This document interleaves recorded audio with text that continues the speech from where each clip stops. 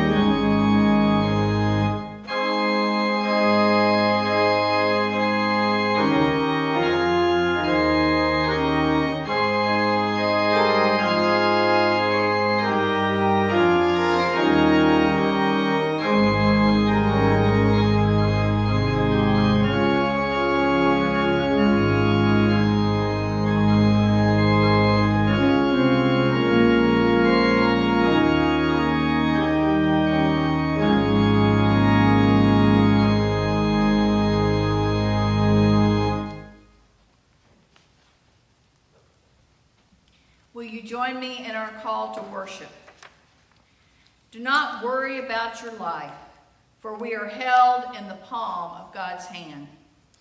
We are people, people of, hope, of hope, striving to trust in God. Do not worry about the clothes you will wear, for we are clothed in the loving compassion of Christ.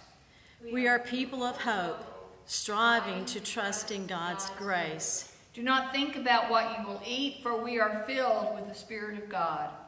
We are people of hope, striving for the kingdom of God. Join me in singing This Is My Father's World.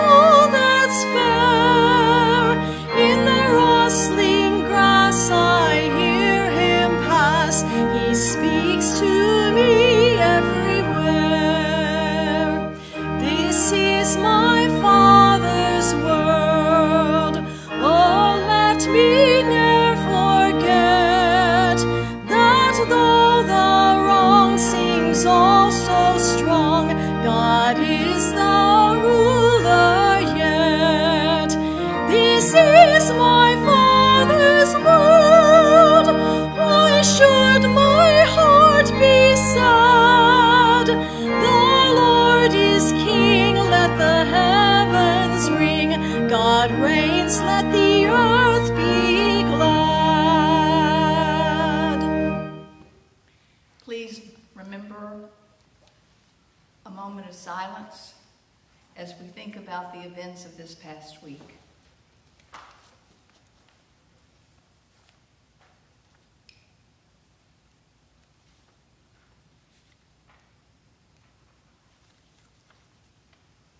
Now, will you pray with me our prayer of confession?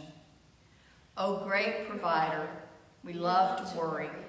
We worry about our looks. We worry about our health. We worry about our jobs. We worry about money. We worry about the future. We worry about worrying too much. We act as if you do not know our needs. We act as if the birds go hungry and the flowers go unclothed. We ask as if you care more for the world than you care for us. Wake us up, O oh God. Help us see our value in your eyes. Help us feel your care for our every need. Through Jesus Christ our Lord. Amen. Hear these words of assurance. Sing for joy with heaven and earth. We are forgiven, cared for, and beloved. Amen. So, um, we've been looking and seeing a little character, a little panda bear called Memphis, uh, going out and about around the church taking pictures. So, I want to give you um, a hint of where Memphis is today. Can you see that? Do you know where Memphis is today? Uh, and who would Memphis be talking to right now if he was sitting uh, uh, there right now? Well, he would be talking to Cynthia. This is an organ. Uh, we are very fortunate at this church to have a pipe organ. And those pipes you see up behind us, those are real pipes. And each of those, um, it's not like a piano. When they, she strikes a note, it doesn't pluck a string. Instead, it blows wind through a pipe.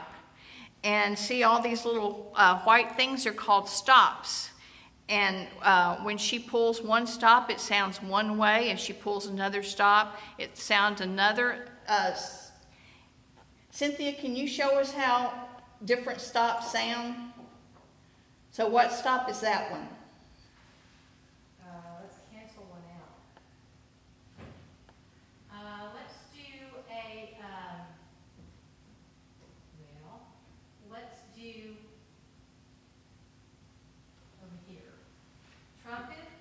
Trumpet.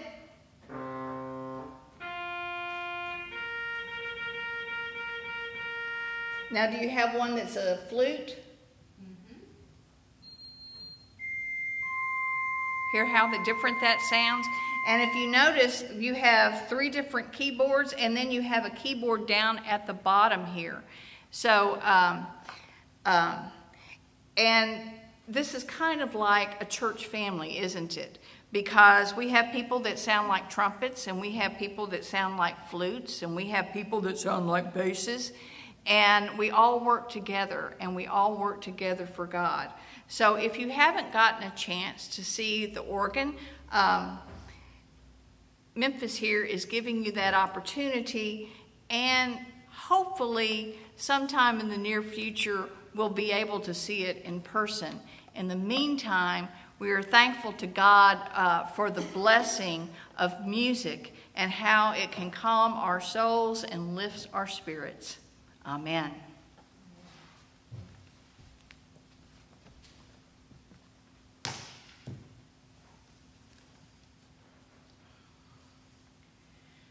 So, since early June, we have been talking about the Sermon on the Mount.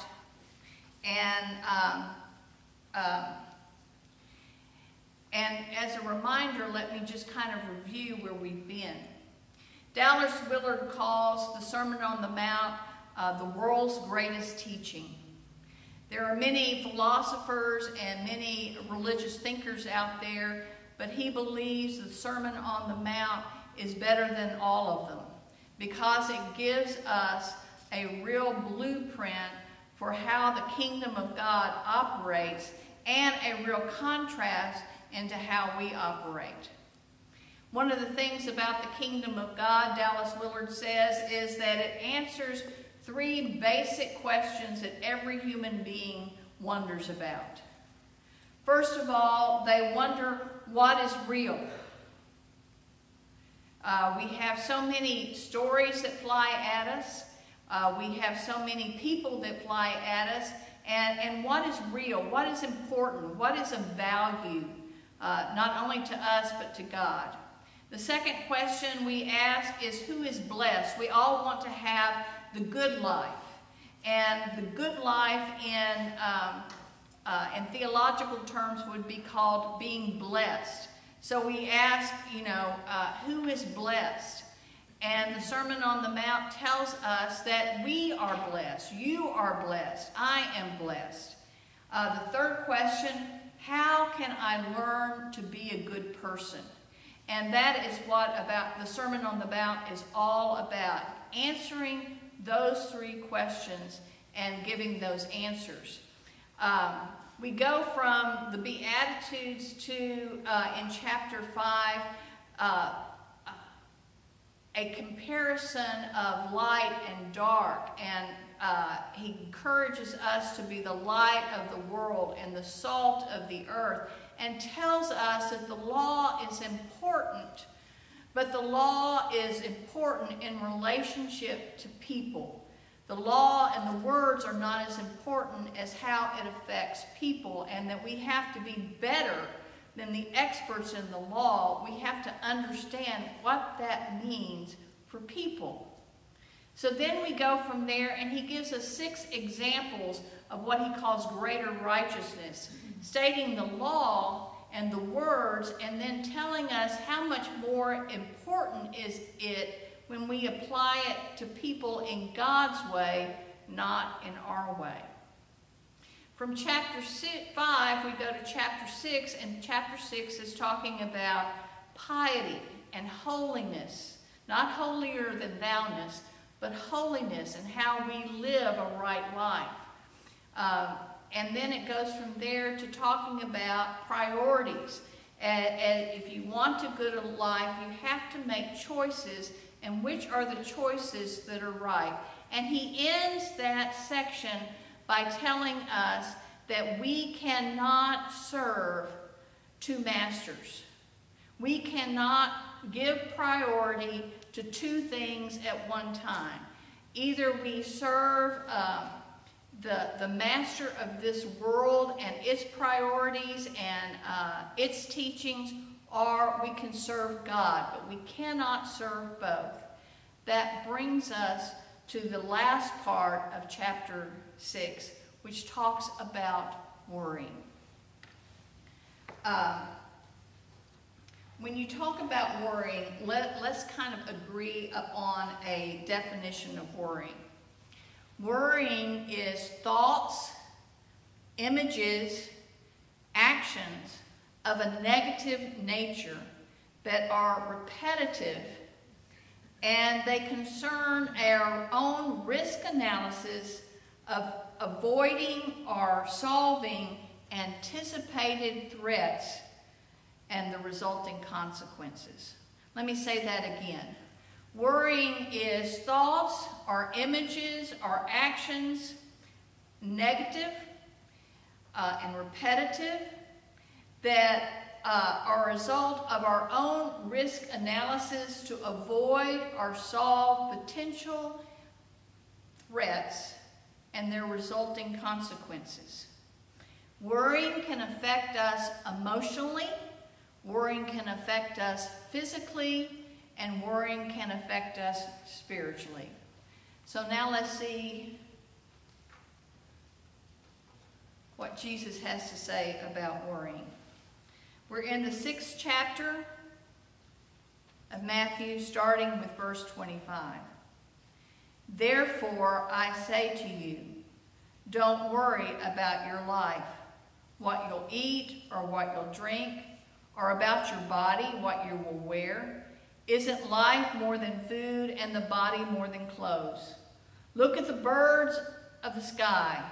They don't sow seed or harvest grain or gather crops in barns, and yet your heavenly Father feeds them. Aren't you worth much more than they are? Who among you by worrying can add a single moment to your life? And why do you worry about clothes? Notice how the lilies of the field grow. They don't wear themselves out with work, and they don't spin cloth. But I say to you that even Solomon and his splendor wasn't dressed like one of these. If God dresses grass in the field so beautifully, even though it's alive today and gone tomorrow and thrown into the furnace, won't God do much more for you, you people of weak faith? Therefore, don't worry and say, What are we going to eat? What are we going to drink? What are we going to wear? Gentiles long for these things. Your heavenly Father knows that you need them. Instead, desire first and foremost God's kingdom and God's righteousness, and all these things will be given to you as well. Therefore, stop worrying about tomorrow, because tomorrow will worry about itself. Each day has trouble of its own. This is the word of God for the people of God. Thanks, Thanks be to God. God. Let us pray. May your scripture always be my delight, O Lord. May I not be deceived in them or deceived by them. Amen. In 2003, David, uh, Dr. David Anderegg uh, wrote a book called Worried All the Time. Maybe you read it, I read it, uh, and he talks about how much we worry about our children. And honestly, that is what a lot of us worry about constantly. We worry about our children, we worry about our grandchildren, we worry about our loved ones. He, he gives a reason in 2003 for our worries, or he gives several things that's contributed. First of all, um, in American society, we have had fewer children. Uh, when um, back in the day when we were more rural society and people had 15, 16, 18, 20 kids, uh, mama didn't worry so much. Uh, she couldn't. There wasn't enough time today to worry about each child, so everything kind of went in a pattern. But as we've reduced the number of children to where a family has one, two, or three children, the, the worrying gets more obsessive. Another reason is um, uh, we have this exaggerated state of competition. Um, we've got, uh, there is competition for what preschool you get into, and, and uh, children are born into competition, and even at early ages, they start competing in traveling baseball leagues and traveling dance competitions and traveling uh, basketball leagues. There's this intense competition. And um, even among parents in certain neighborhoods, whose child reads first, or my child's faster, or my child's doing this activity, or my child's doing that, we've gotten into this comparative state that's ongoing. School violence and uh, children at risk, uh, and all of the programs and the books and the movies that talk about that have given parents an intense, uh, heightened awareness of the dangers facing their children. And this was in 2003 as they were beginning to talk about uh, helicopter parents, uh, those that kind of always ho were hovering over the head and, and would go to the schools and, and uh, attend to their children's uh, problems. Um, we went from helicopter moms to uh, lawnmower parents uh, to what they call, uh, or what colleges call stealth bomber parents. And, and this overprotectiveness or, or, or interference into making sure our children are our version of successful uh, really took off. And it's gotten worse and worse and worse and worse, and now we're hit with COVID. And every single parent I know, at least parent of means, are weighing their options for what their children should be doing for school in the fall. Whether they have school-age children of elementary school or preschool or high school or college, these parents are worried about doing what is best for their children. Off the table is the competition, and off the table are a lot of the things that used to obsess us, and now we simply want our children to have an education in a safe environment. So, um, I've known a lot of profound worriers in my 21 years in ministry. I mean, people that worrying, they would stay up all night and worry. Uh, it would affect them physically in, in terms of eating too much or eating too little, uh, um, obsessing about their children's activities. I have known some very profound worriers. And they, um, as they worry, um, and, and we look at how that affects us um, uh, from the emotional standpoint, uh, a lot of psychiatrists or psychologists might tell us that our worry comes from our own childhoods. Our worry comes from dealing with harms that happen to us, and we still have the reactions of a child, so we worry and anticipate these things are going to happen again or they're going to happen to our children or someone we love. From a physical standpoint, doctors will look at somebody that's worrying that it's affecting their physical health and, and they will provide solutions.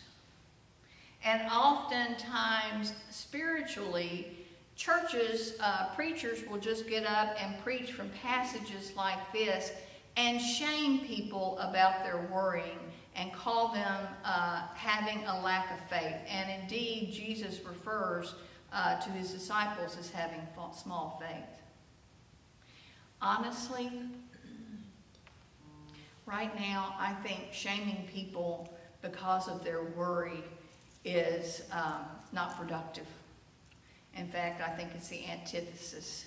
Pointing a finger and saying, you don't have enough faith in a pandemic is really what I call pastoral malpractice. So today I'd like to talk to you about worrying in a way that is productive and maybe helpful. Because certainly um, in the, in the um, history of things to worry about. We are at a particular point in history where um, there is a lot to worry about. So let me offer um, these few things. I want us to look at the overall scheme, even though we still have one more chapter to go of the Sermon on the Mount. And what we chose as the theme of the Sermon on the Mount that we really haven't talked about is change your landscape. And so this is what I'm going to offer to you today in helping you to deal with the things you're worrying about. What he says uh, in, in the Sermon on the Mount and what he says in these few verses is he urges you to look at something different and to look at something different differently. So the verbs he uses here, um, it is, he, he tells you to look, but it's also to notice, to pay attention to the birds of the field. Pay attention, notice, change your landscape Stop looking where you are and actually go look outside at the birds of the field. Now, I've got a lot of birds in my backyard, and there's one mockingbird that particularly enjoys uh, nosediving my cat. But I pay attention to the birds of the field. They're beautiful. I've got cardinals. I've got mockingbirds. Occasionally I see a bluebird. I've seen hummingbirds back there. But pay attention to how they live their life. There's stuff for them to eat. They'll find water to bathe in. They'll build a nest. They have a whole different ecostructure and a whole different way of looking at the world than I do. And what Jesus is saying is to pay attention to that. The second thing he says is um, uh, to consider the lilies. Well, I've had a lot of dress up occasions, but I don't ever recall looking like a stargazer lily or looking like the white lilies uh, that are so beautiful. Um, and, and that's what he's talking about. Change your landscape, change your perspective. Don't, I'm not here to shame you from worrying. I'm asking you to look at a different way, change your landscape. Because our worries, our worries about things um, material and our worries about things that are of this world. And right now, Jesus isn't talking to the general population. Jesus is talking to the people who have chosen to follow him. He's talking to the people who have chosen to be his disciples. And he's telling those of us who claim to be a follower of Jesus Christ to have a different perspective, have a different landscape.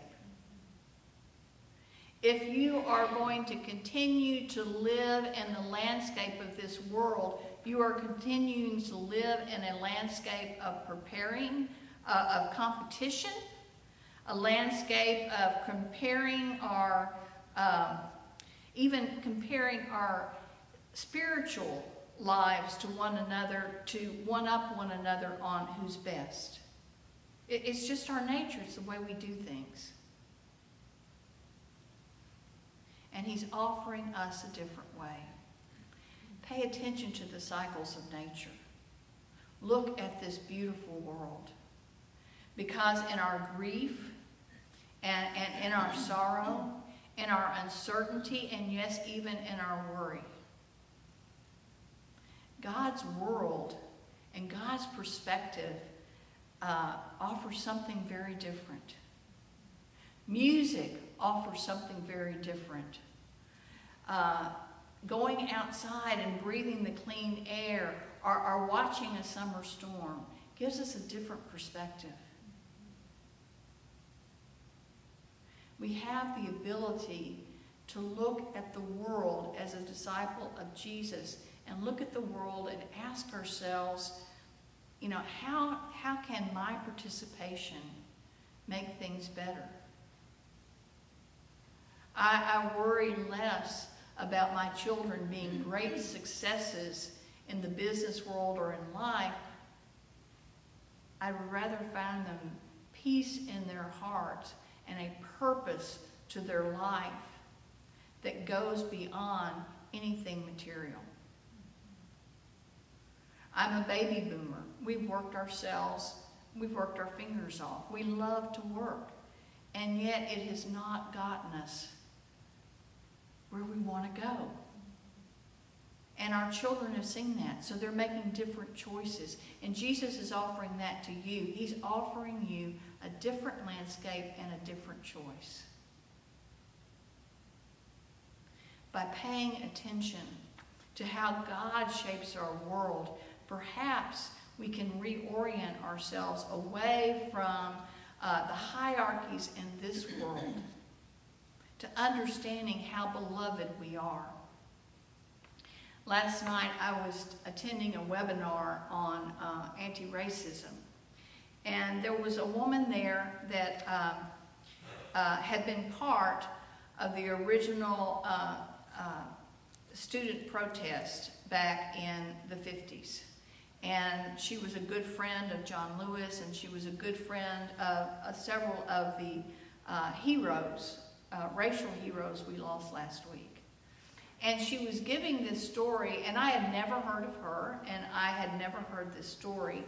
But she, they were asking her to explain why, uh, why the focus on nonviolence, and asking her to explain somebody like John Lewis who was always focused on love and nonviolence. You know, how did that come to be? How, how does a 23 year old have that kind of maturity?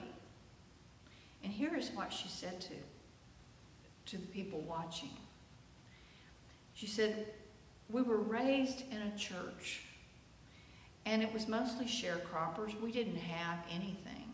And in fact, the uniform of the early protesters male and female, is we wore uh, overalls um, because that was what sharecroppers wore, and we stayed in their homes. But she said we were raised in a beloved community, a church community, that taught us that we are God's children and taught us that we are beloved and that we are wanted and that uh, everything about us was created by God, and God understood every little part of us. And not only us, but even the world outside of us. We were raised in being beloved. We were raised in being forgiven. We were raised with that kind of passion that we knew there was a greater purpose out there. And so, even as we took to the streets, and even as we were beaten, and even as uh, some people said horrible things to us and hosed us down and sick dogs on us, she said we couldn't do anything but to respond to the people attacking us with love because that's how we were raised. That's how this church brought us up. And so I'm sitting there watching this and I'm asking myself, how good a job are we doing in our own community of raising our children up to not only know how much they are beloved, but to understand that all those other people out there are beloved as well. It's a different perspective. It's a different landscape and we get to choose which landscape we honor. So as we end chapter 6 and we go to the last chapter 7, let us remember that we are the ones indeed that are blessed. Let us remember that we are indeed what is real, and the work that we do with every generation is real and important. And most of all, knowing that following Christ means be, we become God's people and we become and have a good life. In the name of the Father, the Son, and the Holy Spirit. Amen. Um, will you join me as we lift up our prayer for today?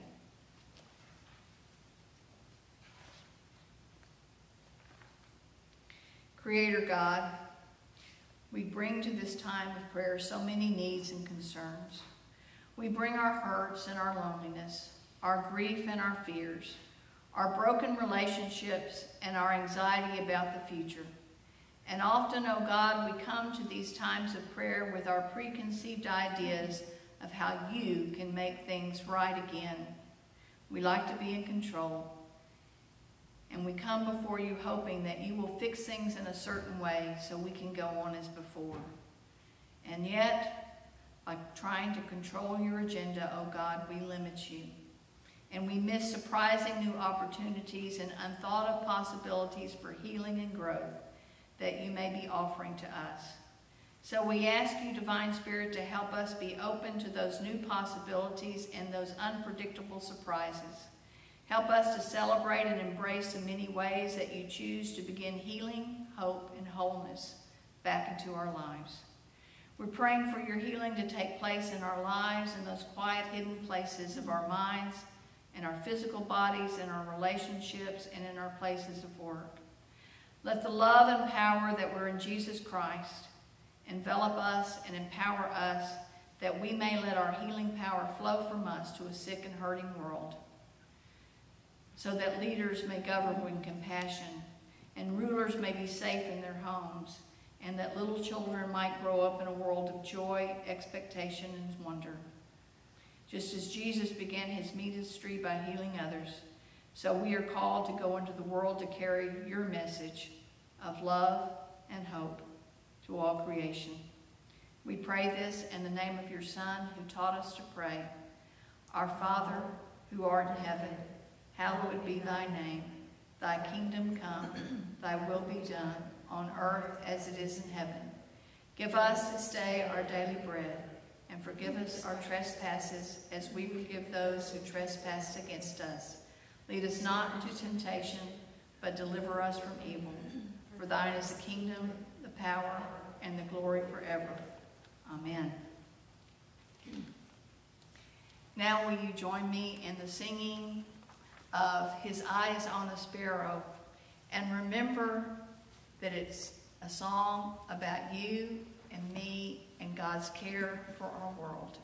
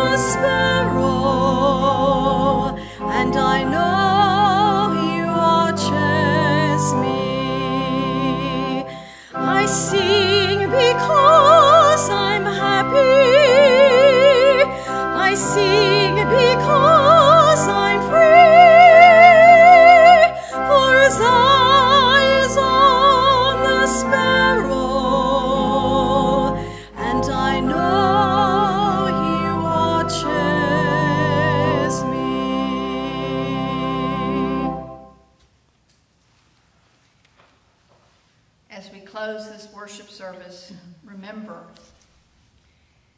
it's one day at a time.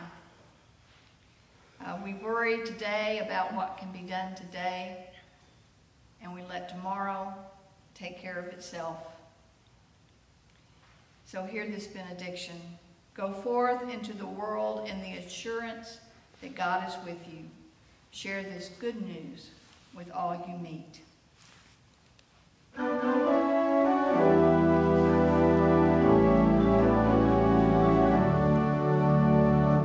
Shalom